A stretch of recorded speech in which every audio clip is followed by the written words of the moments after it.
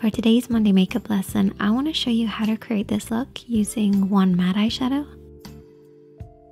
and one metallic eyeshadow. It's super easy, so let's get started. As always, we're going to start off with eyeshadow primer. If you don't have eyeshadow primer, you can use your concealer as well. Either way, these will work as a base to give our shadows something to hold on to while also creating a blank canvas for us to work on. The first shadow that we're taking is the matte shade. You want this to be a few shades darker than your skin tone, but it can be any tone that you prefer.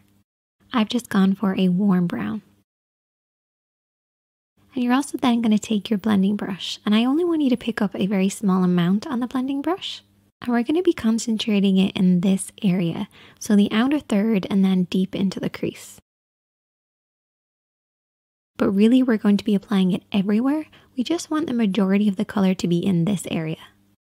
So every time you pick up shadow, make sure to start on the outer edge and work your way up and over.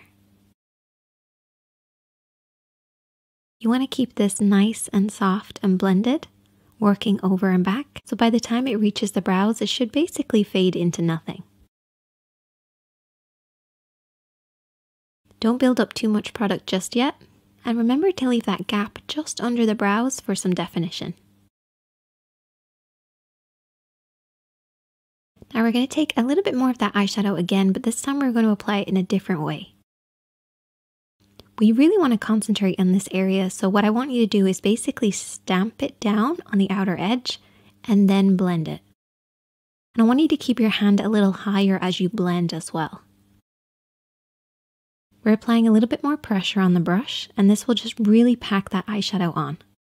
Once you have it in that area, you can then do soft sweeping motions just to blend out any harsh lines.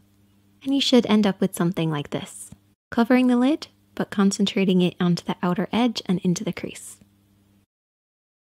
Now for our shimmer or metallic eyeshadow, I've chosen something that works quite well with the first shade. And I'm going to apply that with a flat brush.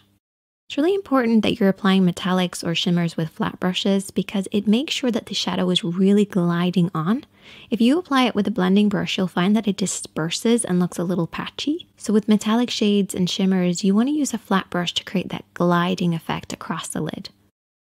So we're basically concentrating this on the inner corner and then across the lid.